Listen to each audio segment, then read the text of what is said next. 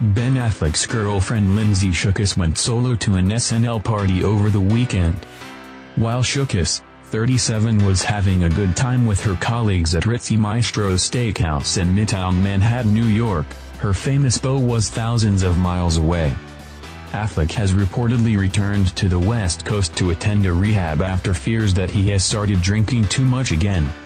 The pair had spent a few romantic days in New York before he jetted away from his blonde girlfriend. The 37-year-old seemed to be staying upbeat as she mingled with friends outside the glitzy venue.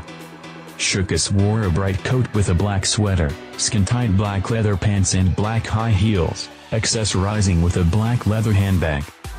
Despite being without her guy she seemed to be in good spirits as she joked with colleagues outside the restaurant. The Batman star is reportedly aiming to sobriety after a recent intervention from ex-wife Jennifer Garner, 45, and his brother Casey Affleck, 42, which is why he returned to Los Angeles. Shookus and Affleck have been dating for five months.